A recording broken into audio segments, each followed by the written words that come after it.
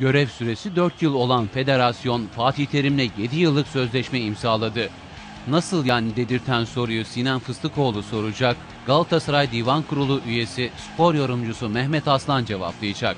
Takımların Spor Toto Süper Lig'in 12. haftası öncesi son durumları hepsi ve daha fazlası Spor'da son sözde. Spor'da son söz bu akşam saat 20.30'da Bengü Türk'te.